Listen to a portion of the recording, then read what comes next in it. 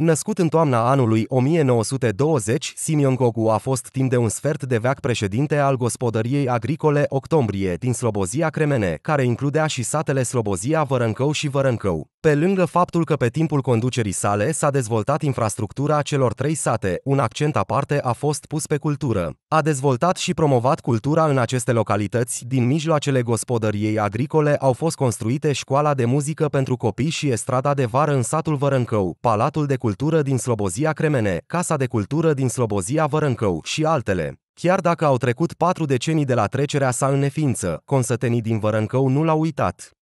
Și nu numai pentru Vărâncău, dar și pentru toate trei sate. Vine, dacă te prinde cu ceva, cu o leacă de grăunță, ori cu când te duci acasă. Și taman el să vie, să controleze de la brigadă. Nu-ți mai zice nică, ia ca așa. Ei, așa e Dumnezeu l-a îndăstrat pe dâns cu harul ăsta și cu așa minte și dintr-o elevă a ieșit un om. Un om care a ieșit. Și a condus așa un colhoz bogat și a fost așa o bogăție strașnică. Și la dâns cuvântul era cuvânt, dacă era cuvânt, dacă eu îți spun că te dau azi, te dau, dacă spun că nu te dau, nu te dau, nu te duc cu bombonica într-un loc Și lui tare i-a plăcut. Și disciplina, au făcut, bau un club, bau o casă de, asta de cultură și au putut și el în vreme și îi plăcea. La adunări, sigur, frumos, la sărbători, el, fanfara tare, o iubit-o, om de treabă. Eu m-am dus după, după ceva la dâns să întreb de el și Căldrenuț, mă ta să vii, eu ți-o dat tot colhozul. Dar pentru alții n-ai nevoie. Foarte bun. Eu am lucrat tractorist,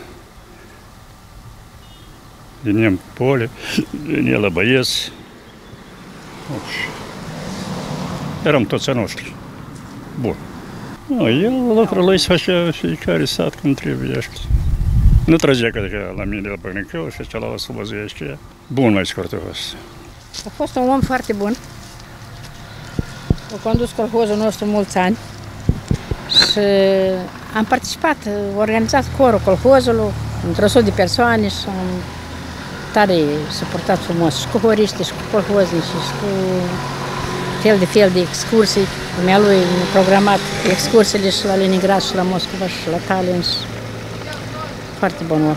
Eu adică ați venit aici în sat, dar ați venit de mult timp și am auzit de domnul Simeon Gogu, a fost președintele colhozului Octombrie. La timpul cel, adică el avea așa o tendință, adică a muncit într-atâta că a ajuns colhozul milionar. Tot din inițiativa lui s-a construit Casa de Cultură din Slobozia Cremne, o casă foarte mare. Apoi tot avea drag de cântec și era un cor care permanent îl controla și corul acela s-a în toate țările din Uniunea Sovietică cu concertele. Avea drag de muzică, adică școala muzicală asta tot de dumnealui a fost înființată, adică și la moment activează și mulți copii învață la școală multe instrumente, adică mai multe instrumente decât vocalul. Vocalul așa nu se predă. Și au și reușit copiii, adică Instrumentele muzicale, mobilierul și restul inventarului necesar pentru școala muzicală au fost procurate la fel de gospodăria agricolă, iar instituția, elevii și profesorii s-au bucurat ani la rând de susținere. Astfel, la un secol de la nașterea sa, școala de muzică din satul Vărâncău, raionul Soroca, ar putea primi numele Simion Gogu. Da, de ce nu? Da, nu mai decât. Nu mai decât. Școala muzicală. Și mulți, multe au făcut bune lucruri. Spune că nu rău, așa, pe mie părere. Numai că nu rău, de ce rău? Nu Foarte, rău. foarte bine el. Un cuvânt de bine, de bun. Merită. După părerea noastră, merită. Nu știu și, și părerea alții, dar era foarte bun și el de atâta lipsă, de la hor nu lipsea niciodată. Punea coatle pe pianină și sta până să termina ora. Era foarte atașat de, de, așa, de muzică și de atât zic, merită să... numele școlii, da, nu ar fi rău adică să fie numele lui, deoarece el a contribuit la, anume la dezvoltarea muzicii și anume pe locul unde s-a născut aici. Muzica, vă spun că a fost o plăcere a sufletului dumnealui și îi plăcea, îi plăcea într-adevăr muzica.